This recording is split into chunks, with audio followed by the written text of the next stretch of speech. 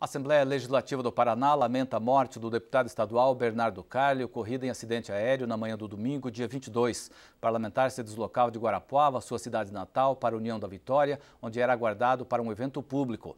O piloto Laércio Tavares da Silva, de 44 anos, e o copiloto Luiz Fernando Corrêa de Souza, de 29 anos, também morreram. Bernardo Carli tinha 32 anos e exercia seu segundo mandato de deputado estadual. Natural de Guarapuava, na região central do Paraná, era graduado em administração de empresas. Entre os principais projetos de lei aprovados pelo parlamentar estão o que garante aos doentes de câncer a isenção fiscal, a lei que reserva vagas para pessoas com deficiências na terceirização de serviços públicos, a lei que exige a identificação de membros de torcidas organizados nos estádios de futebol, entre outras. A Assembleia Legislativa decretou luto oficial de três dias em razão da morte do deputado. Bernardo Ribas Carli era presidente da Comissão de Esportes da Assembleia Legislativa e coordenador da Frente Parlamentar dos Produtores de Energia Elétrica. Integrava ainda o Bloco Parlamentar da Agricultura Familiar e o Bloco Parlamentar Digital. Autoridades de todos os poderes manifestaram pesar pela morte de Carli. A governadora Cida Borghetti demonstrou solidariedade à família e tristeza pelo ocorrido e, em nota, disse que conhecia Bernardo desde pequeno e também a sua trajetória política.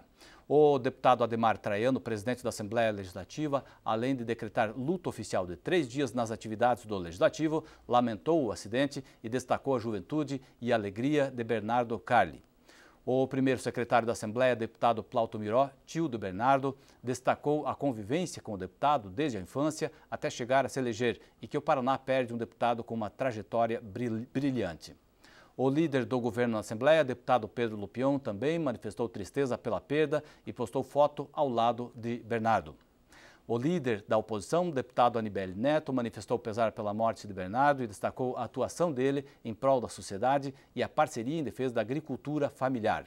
O deputado Guto Silva, primeiro vice-presidente da Assembleia, manifestou profundo pesar pelo falecimento do colega de plenário e amigo Bernardo Carli. Destacou a honra de ter trabalhado com ele, colocando-o como um jovem expoente da política paranaense. O segundo vice-presidente, deputado André Bueno, também demonstrou solidariedade à família de Carli e disse que o Estado do Paraná dá adeus a um político honesto e do bem. O terceiro secretário, deputado Vilmar Reichbach, se manifestou em nota e lamentou a morte do colega Bernardo Carli.